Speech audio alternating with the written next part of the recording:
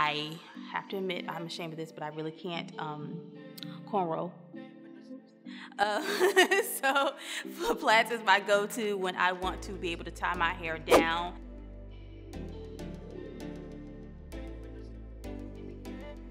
Hi, my name is Andrea and I am here today to teach you how to transition from summer to fall to maximize your curl growth. Tip number one, what we gotta do and what we must do is make sure we maintain or do a little bit extra deep conditioning, okay? So as the weather gets drier, of course, your hair gets drier. The air, your atmosphere is sucking the moisture out of your hair. So what we gotta do is do the deep conditioning, okay?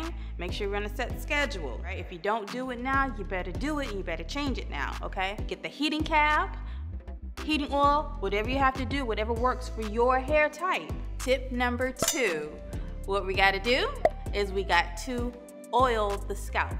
Now, I'm not a huge fan, or my hair isn't a huge fan of putting oil on the hair, but my scalp loves the oil. So what I got, what I usually do is take hot oil and just put it on the scalp after I deep condition, after everything is done, and massage it. That stimulates the follicles in your scalp, okay? And that helps with hair growth. And now tip number three, braids.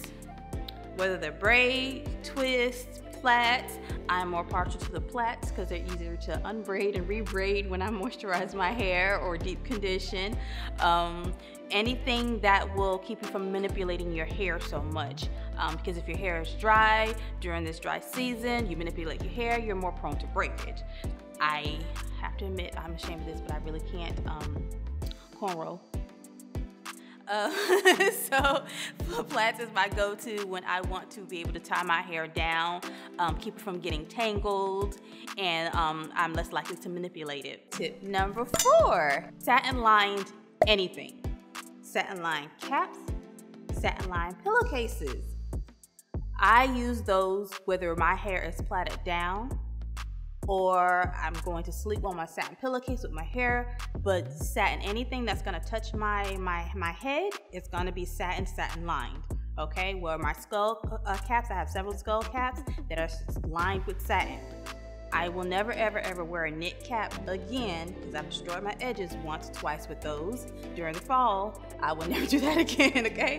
So satin everything, okay? It keeps you from getting breakage. And tip number five, what we have to do is make better eating choices during the fall season. Okay, what we're gonna do is if you take vitamins, make sure you stick to a vitamin regimen that helps promote blood circulation, okay?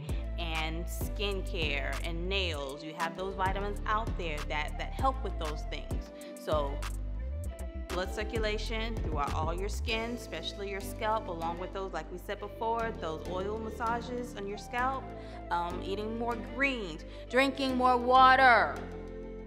I don't care if you have to flavor it a little bit. Drink your water, all right? My name is Andrea, and you can follow me on Instagram at Curl A Queen, everywhere on all platforms. Don't forget to click and subscribe.